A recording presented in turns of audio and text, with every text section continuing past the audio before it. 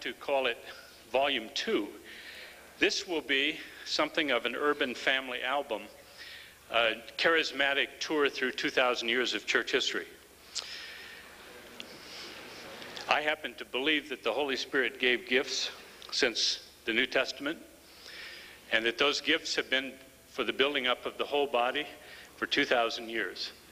And to neglect those stories past is to deny the gift of teaching in the church and sometimes borders on blasphemy of the Holy Spirit. We are not here to recreate the kingdom or reinvent it, really. But in many cases, we are here to recover some things that the church has lost. When my father wanted to tell us who we were, he got out the family album. I want to share some of the photos in the family album. My first comes from a letter, a letter which is written about the year 110. It's the story of Ignatius of Antioch. Antioch was the great mission church, and Ignatius was a pastor. And he was taken prisoner. And in the company of guards each night in prison, imprisonment, he wrote letters back home and letters to Christians to encourage them. One of those letters, when he got to the city of Smyrna, was written to the chief pastor of Ephesus, the great city church. The city church of Timothy and John. And guess who was the pastor of the church? None other than Onesimus of the Philemon story in the New Testament. You can check this out. The best of Catholic and scholarship, uh, Protestant scholarship agree on this. A slave who stole money in Asia and had run away to Rome to get lost in the urban crowd had found Christ through the reach out of the apostles while Paul was under house arrest. He'd become a believer and was discipled, and Paul wrote a little 330 word letter in Greek and sent him back to Laodicea and Colossae, where he was discipled and became part of an integrated slave master house church. And sometime later, 14 years after the last living apostle was banished from his pulpit in the same city, a pulpit seeking committee chose an international refugee to be the pastor of the great church in Ephesus. It reminds me in a climate of Proposition 187 and the fear of Americans that we're being overtaken by the world. The browning of America, they called it in Time magazine. That the Lord is bringing the whole world to the Londons, to the Parises, and to the Los Angeles, New York, Chicago's of our time. That's the Lord's business. It's the greatest migration in human history. But this early portrait, this wonderful photograph, shows how, even in the New Testament, the gospel began in Ephesus with Paul, and 60 years later, the chief pastor in the city was an international refugee. A very important photograph. My second photograph today comes from a letter called Diognetus, written about 140 years after the cross. We're not sure. Somebody suggested Quadratus wrote it. Maybe he did. But if you pick up the book Library of Christian Classics, Volume 1, and look at this little letter, read particularly chapters 5 and 6, where the writer says, For the Christian, every foreign land is a fatherland, and every fatherland is a foreign land. And Christians dwell in all cities, Greek and pagan alike. And there were only those two in those days. The Christians not only obey the laws of the land, they far exceed them in their character. They share their room and board. On and on he goes. Chapter 6 As the soul is to the body, the Christian is to the city. That's where we get the phrase. Christians are the soul of the city. Diognetus chapter 6. We are the conscience of the city. And chapter 6, verse 10 ends this photograph to no less a post than this has God ordered them. They dare not try to evade it. Another photograph I got from the late Bishop Samuel in Egypt. 20 years ago or so, I was in Egypt doing some studies on churches and hostile cultures, particularly in the Middle East and North Africa, part of a doctoral program. Bishop Samuel died with Anwar Sadat. The president of Egypt was sitting at a parade and was shot by his own soldiers. Bishop Samuel was sitting behind him and was killed in the same burst of bullets. Bishop Samuel told a story I'll never forget. He said, You know how the deacons ministered in Alexandria in the second century? He said, Birth control in ancient Greek cities was putting the babies on the porch or on the steps. The babies that were unwanted were put in the street. Anybody could pick them up. The women deacons, he said, organized to have nursing mothers sit in the plazas of the city square. And then they organized baby hunts to go up and down the streets of Alexandria and collect the unwanted babies. And they brought the babies to the plazas of the nursing mothers. And Bishop Samuel said, That's how the church grew here in Egypt in the second century. What an incredible photograph. E.A. Judge and a number of others have reported that Judge's monograph from Oxford, Social Patterns of First Century Christian Churches, that most Christians, not all certainly, but most were lower echelon class people. They were artisans, freedmen, and slaves, he said. Many were garbage collectors. And writings in Judge and others, I've learned something about garbage collectors in early Greek cities. You see, they, the Greeks and Romans threw the bodies of the dead into the garbage. They had no other alternative. Because if you've read Plato, frankly, bodies aren't worth much. So they tossed them.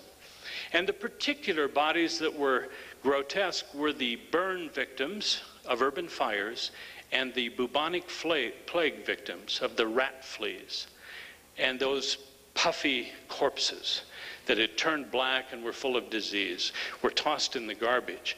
And do you know what the photograph is? The photograph is of Christian garbage collectors collecting the garbage and then taking the bodies that they found in the garbage and bathing them and burying them separately for even the unjust, they said, would be raised unto judgment.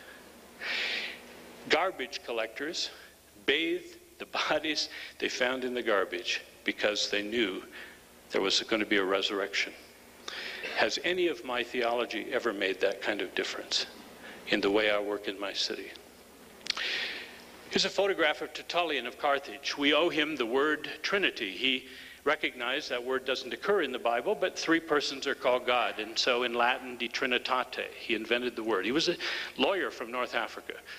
If you put together words from his 37th and 51st apologies, he's thundering at the emperor, and I love what he says. He says, We, meaning Christians, have filled up every place belonging to you islands, castles, caves, senate, prison, palace, city, forum.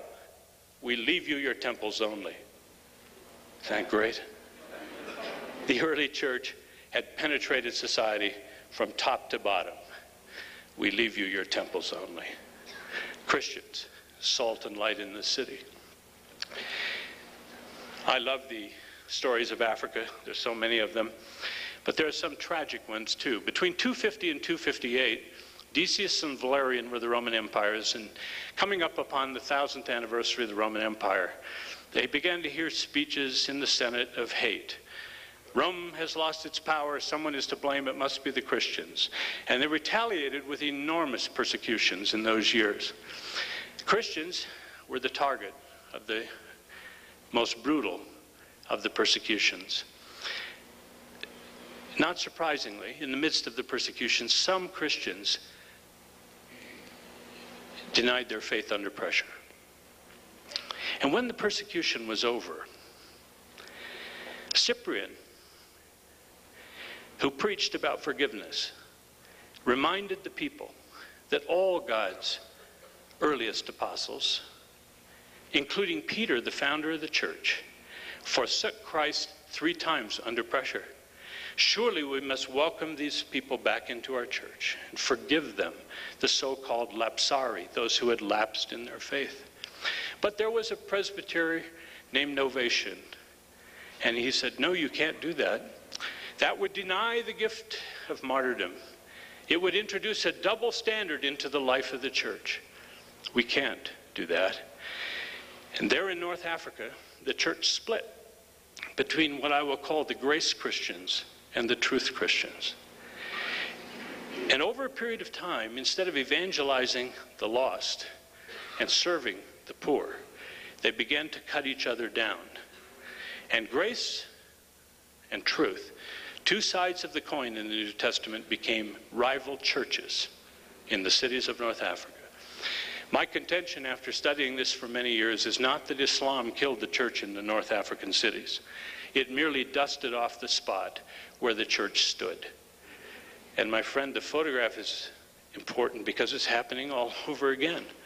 Every city I know has a new battle between grace and truth churches.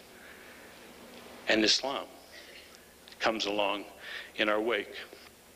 And that leads me to another photograph. A few years ago, I was in Dhaka, Bangladesh, and I said to a Muslim, a scholar, how is it that Hindu India, the whole subcontinent of, of Asia, is mostly the old Indian Empire? How is it that India, which was Hindu, has Islamic bookends? Pakistan and Bangladesh. He said, You know, don't you? I said, No, not really. It's a serious question. How did that happen? He said, Well, let me show you the map. And he took me up to the wall map, the large map, and he said, Now notice Pakistan. Notice the Indus River runs all the way up through like the spine of the country and branches into five parts, up into the Punjab and other places. Then he said, Notice West Bengal, where Calcutta is, and Bengal, East Bengal, where Bangladesh is, the land of Bangla. Notice how the Brahmaputra and the Hooghly River squiggle their way through that country. He said, for centuries, the river peoples on both sides of India were looked down upon by Hinduism. They were schedule caste, undercast, outcast peoples. The Hindus ignored and patronized those peoples. And then in the seventh century, Islam came not by imams and mullahs, but by little trading ships across the Persian Gulf, the Iranian Gulf. And up those rivers went lay people. And for the first time in Hindu history, the river people were being treated as human beings. And within a hundred years, they all decided to join the Muslim Brotherhood. Now, I counted 34 mosques in Chicago seven years ago. Last year, Diana Eck at Harvard specialists in world religions, published a study pointing out that we had 73 mosques in Chicago.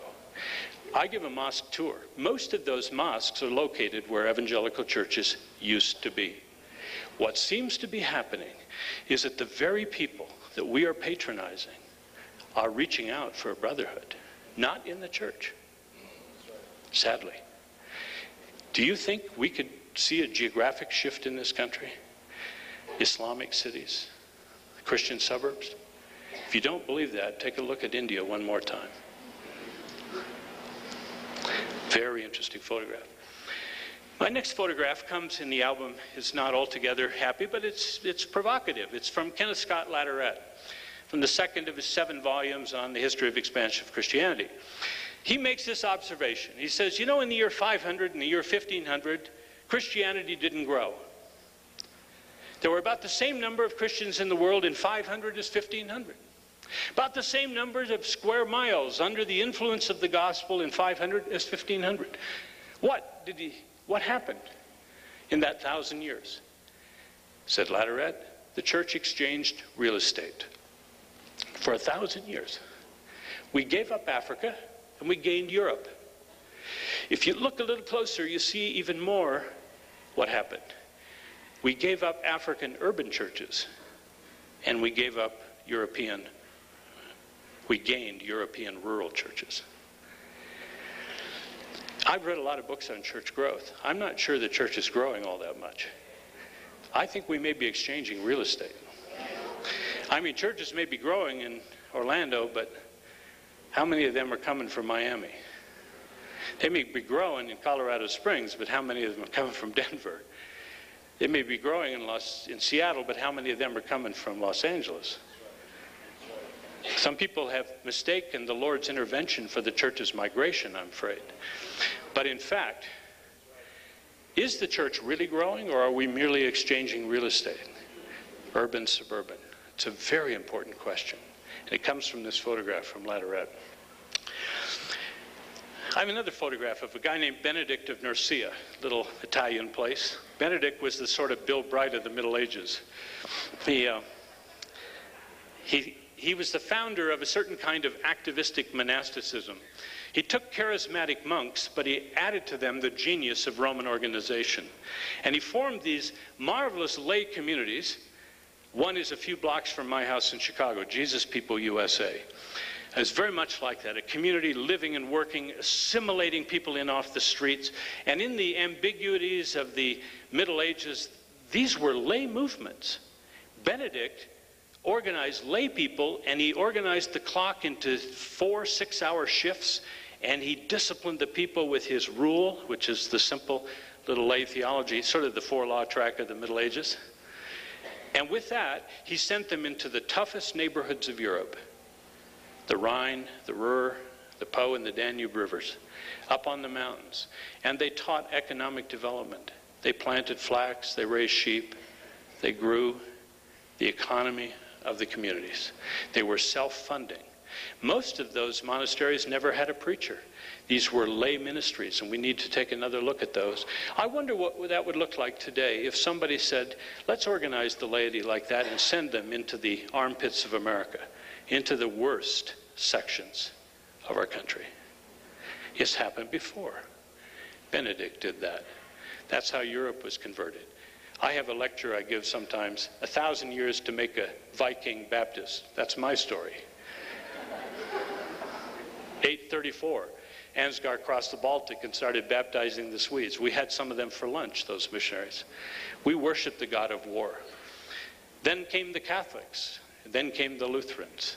Finally, in 1848, 1,014 years after Ansgar, the Baptists were born. Somebody had to come into the violent Viking culture and begin what these monks did. And I think as I look at that, some of us are going to have to look at a recovery of the Benedictine model for the most violent sections of our culture today.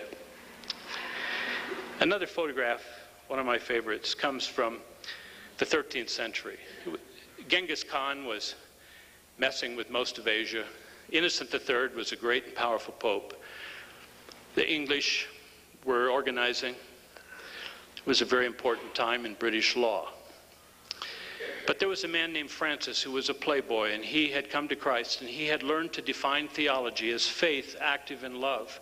And he went to the Pope, and the Pope said, Yes, my brother, organize your people, the poor people. And he did, and he went out and created the Franciscans to love people on the streets. In the same decade, Dominic, a Parisian, came to the same Pope and said, I have a vision. The theology is loving God with your mind probing the mysteries of the divine. I would like to start an order to teach theology and to penetrate the mysteries of God and, and to produce universities and an order of people who could preach the gospel to the people. The beauty of the Catholic Church is Francis and Dominic were kept together in the church, two sides of ministry in the city. Unfortunately, for many today, there'd be two denominations. Folks, if you just had Francis all too quickly the piety becomes moralism and the service becomes social work. And if you just have Dominic, the scholarship becomes scholasticism and irrelevant. And so we need to pull those two together, the Francis and the Dominic. Our Lord put it well. Love the Lord your God with all your heart, soul, and mind, and your neighbor as yourself. We need to pull Francis and Dominic back together in the CCDA movement. It's not either or, it's both and. I go over the incredibly terrible 14th century. Spend the whole course in pastoral care right there, what cities were doing. One third of Europe died in two years. Amazing ministries. 15th century, same. You, you know about the Reformation. Many photographs there, but let me just pick one. The Mennonites will enjoy this. George Blaurock, which in German means blue coat. Maybe he only had one blue coat, so he called him Blue Coat. George Blaurock, standing in front of the Zurich City Council, they had ordered him banished from the city. He held up Psalm 24:1. The earth is the Lord's, it says. That surely includes Zurich. I will not be removed. You don't own the city. A theology of place. Isn't that wonderful? I love people who take the text that way. When the plain text makes common sense, seek no other sense. Huh? That's what he did. And the Mennonites were born, not in a rural area, by the way. They were born in the cities of Europe, in Zurich and other places. Well, Roger Williams, he convinced me to be an American Baptist. Roger Williams came to the colonies the same year as John Cotton in Boston, 1630. He went up to Salem. And all of a sudden, he was very uncomfortable as he listened to the Puritans preach because they preached about Massachusetts as though it were the new Canaan. God has given thee this plantation, said Winthrop in his sermon on the Arabella, and the other Puritans believed that, and they believed that they should exterminate any other people they found in the land. Well, when they looked around for Amalekites, who did they find? Narragansett Indians. Now, what are you supposed to do with Canaanites and Amalekites? Kill them? at worst and banish them at best. And so Puritan foreign policy was to get rid of those folks, get them out into their Bantustans, their reservations. Roger Williams protested, left the colony, wrote a 32 page book, The Difference Between Israel and All Other States.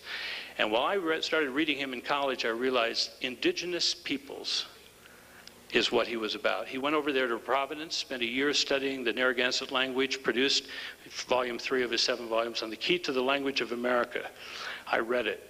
He was a faithful Indian or Puritan trying to struggle with the fact that God didn't call Puritans to kill or banish Native Americans. And he founded the first of my churches there in 1639. We have an empty land theology. And developers don't give a rip about indigenous folks. On all six continents, it's happening one more time. Whether theologically or not, we are viewing indigenous peoples still as Amalekites and Canaanites to be banished from the land so that we can have it in our giant displacement theories. It's not fair, it's not biblical, it's not just. And this photograph of Williams was very important for me and my understanding of.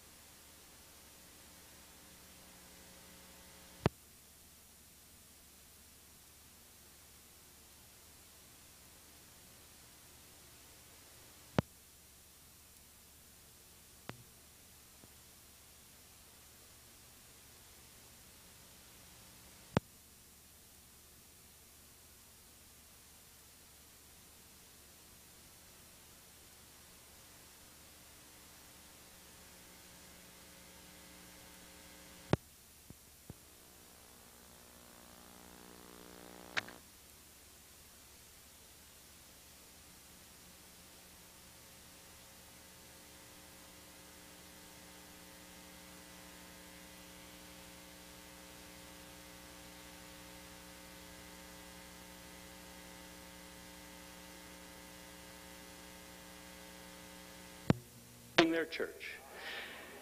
They locked their paid pews and hired a guest lecturer to preach to them in the afternoons in the accustomed manner. Simeon, unable to use the locked pews of the church, went out. He was getting 49 English pounds a year. He went out and bought lumber and built benches for the aisle and the foyer. And every Sunday he came, found his benches in a heap, and carried them in and set them up there. And he said, If half the people get double blessing, I'll be satisfied. And he stayed for 11 years. And then there was a reconciliation. The congregations got together and he stayed 54 years to be their pastor. But that's not all. He started the first seminary in his study over at the, over at the college. Five times he was dean. He was brilliant. He wrote books on theology, he preached the gospel to the poor. Every one of his assistants, he gave a missionary message to. He sent one of them, um, Henry Martyn off to India to translate the Urdu Bible. And then one day he heard that the prisons were going to be dumped on the Australians. And so he got the idea of appointing chaplains on the prison ships. Bishop Jack Reed told, John Reed told me in Sydney a few years ago that the Archdiocese of Sydney, Australia, is evangelical to this day because of Charles Simeon. Because those chaplains that Simeon chose to go on the boats were all evangelicals, and they preached the gospel all the way to Australia. And when those ships landed, most of those prisoners were converted and discipled on board ship. Isn't that incredible? And this guy had never seen an ocean, I think, but he had that kind of vision. And every single month, Charles Simeon went to London to a little borough called Clapham where he met with Pitt and Wilberforce and Hannah More, founder of Keswick, John Venn, and others. And guess what they did? They worked on getting rid of the slavery in the British Empire. It took them 50 years to get a bill 1807, the first bill, 1837, the second bill, to get slavery banned in the British Empire. A handful of people meeting every week. I didn't grow up with a pastor. I didn't know what pastors did. I, when I was 23, I read that book about Simeon, who was 23. I adopted him as my pastor. I like him so much, I named my dog Simeon. if you come to my house, you'll meet Simeon. I either have a high view of dogs or a low view of preachers, someone says. But Simeon taught me you could put all that together. You could, you could, you could work with poor people with integrity. You could, you could challenge systems. You could disciple preachers. You could love the university and knowledge. You could write books. You could love the poor, and you could work for justice, all in a pastorate.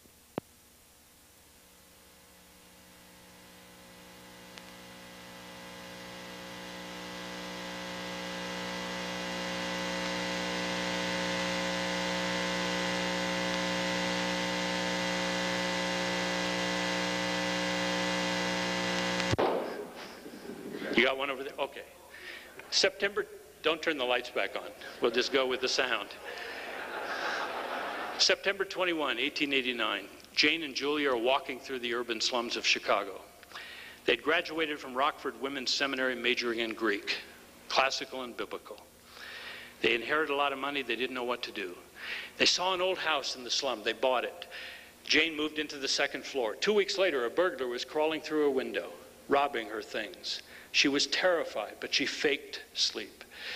And when the burglar had filled his bag with her things and was about to climb out the window, she said, Why don't you use the stairs? You might get hurt. and the burglar was so distraught, he sat on the bed and cried. And he said, I don't want to rob people, but I got to support my family.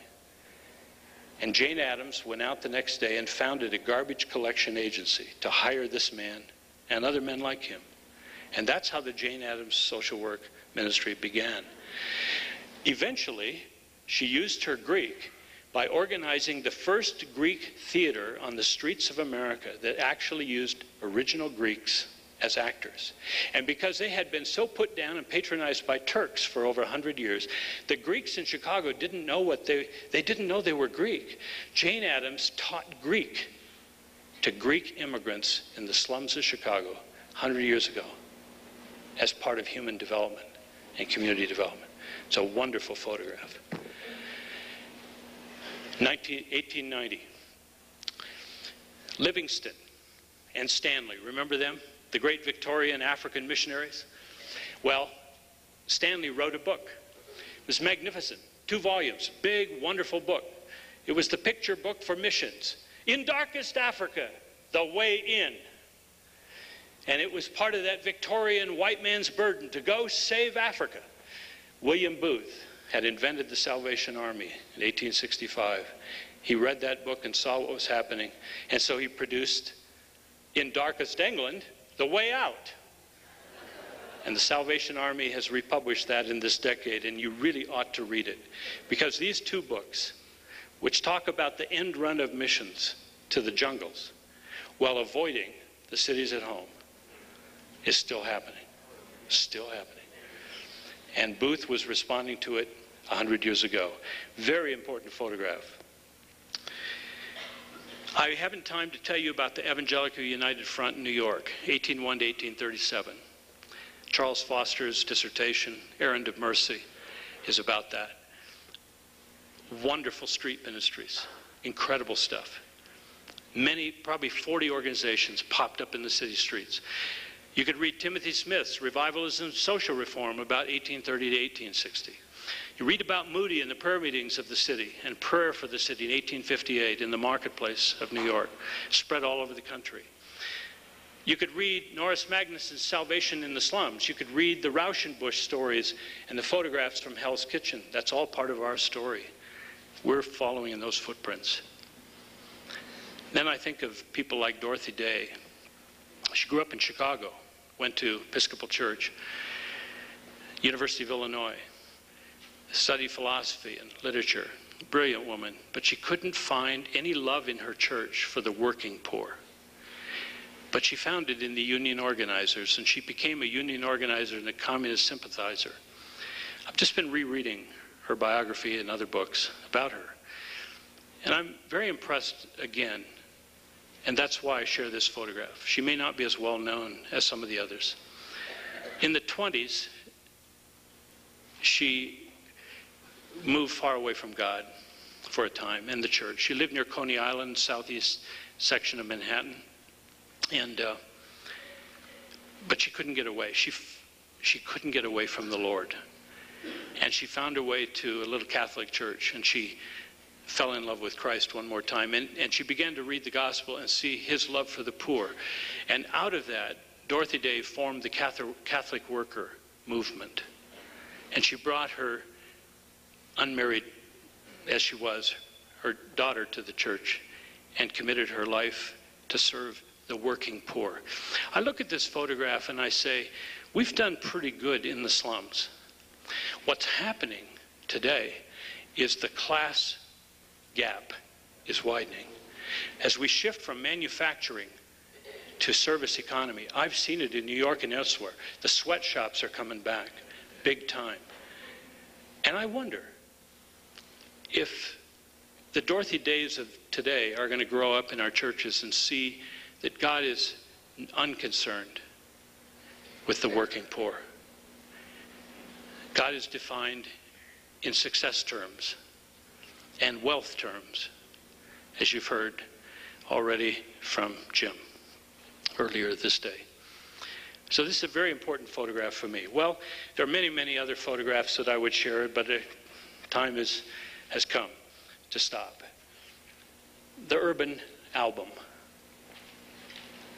If you invite me back in 25 years, I'll talk about Teresa of Calcutta and Jember Tefera of Addis Ababa. I'll tell you about the way that Floyd Flake, whose community development budget alone in New York City this year is bigger than Willow Creek's entire budget, I'll tell you about how Floyd Flake and Roderick Caesar and Susan Johnson and Preston Washington with the Harlem Coalition are rebuilding New York.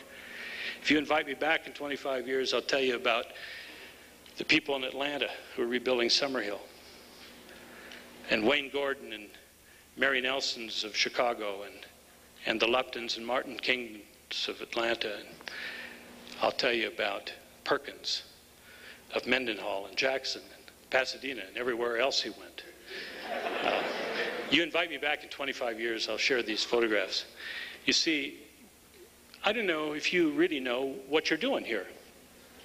And maybe some of you think you're very insignificant. And you probably are. 1 Peter 2 9 puts it something like this You were nobody, but now you are somebody. You're the kingdom of God. I know who you are too. You're the people who are adding the photographs in the Urban Family album, for which I give thanks to you. And so I say, to God be the glory, and to the saints be thanks. And to the Christian Community Development Association, be courage. And to the cities, be hope. God bless you.